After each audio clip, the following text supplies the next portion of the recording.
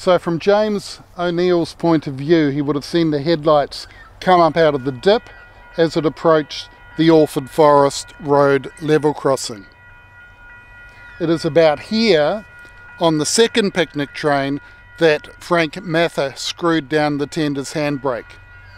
But it wasn't until they got to our location here, after cut in the locomotive air brake and the tender air brake. And whistled for down brakes.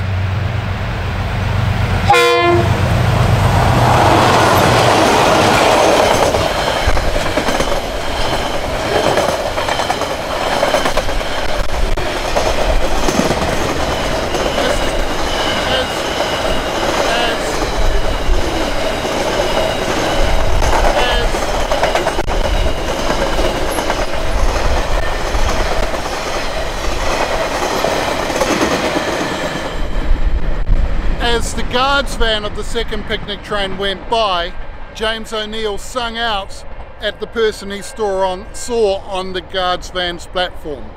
That was James Burrows.